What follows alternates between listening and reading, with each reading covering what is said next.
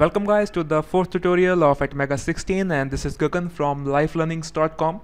In this tutorial I will discuss the delay functions in mikroC Pro for AVR and we will create a for loop for our program. So let's move to the compiler of Atmega 16. So in the last tutorial I showed you how you can write the value to a port and how to define the direction of a port as an output with a DDRX register. So first I will show you how you can toggle the port pins in this tutorial.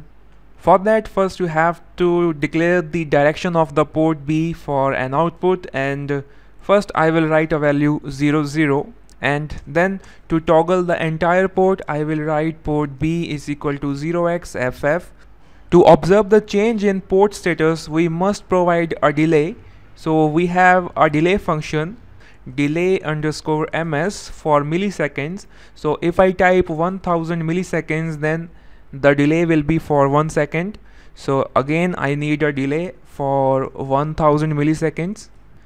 Actually it will be very clear if we put comments to every line of the program. So to write the comments you have to put two forward slash. Then you can write your comment like you can also write the comment to other line of the program.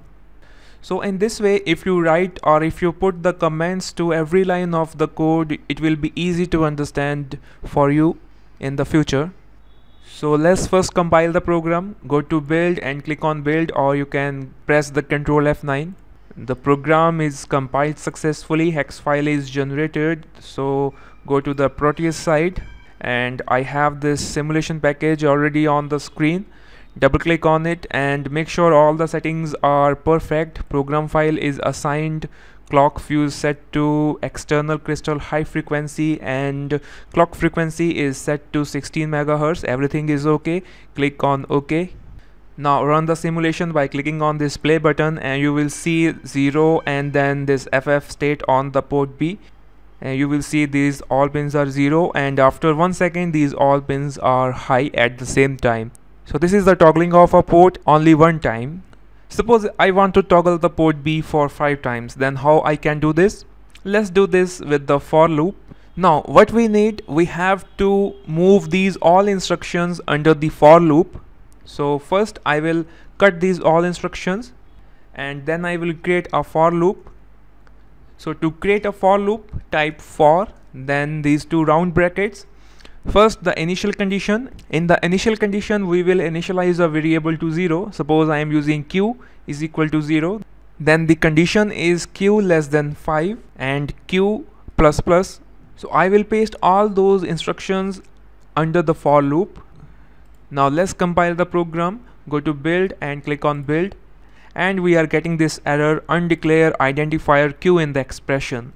Now this error is because of this q we have to declare that variable. So this q variable must be declared before using it in anywhere. So I will declare this q variable outside the main function. I will declare the q as a character and type character then space and q then semicolon.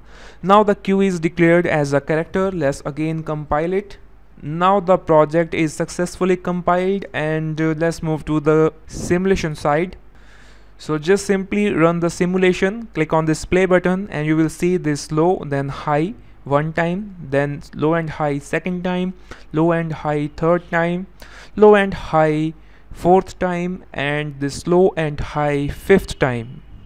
And after that the program will stop there and the port B will maintain the last status of the pins so guys in this way you can configure the direction of a port as an output and by using this for loop you can execute the instructions under the for body for a number of times.